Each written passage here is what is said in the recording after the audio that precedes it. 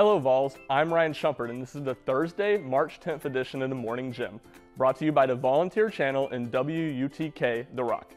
Want to get a good deed in this month? You can help the Big Orange Pantry celebrate National Peanut Butter Day by donating either a jar of peanut butter or $5.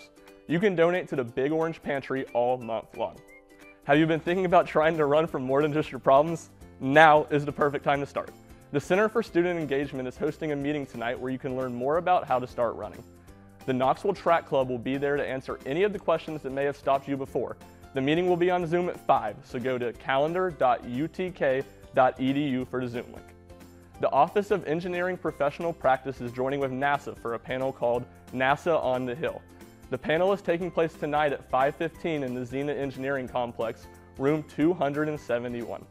That wraps up today's episode of the Morning JEM. I'm Ryan Schumpert. Have a great day.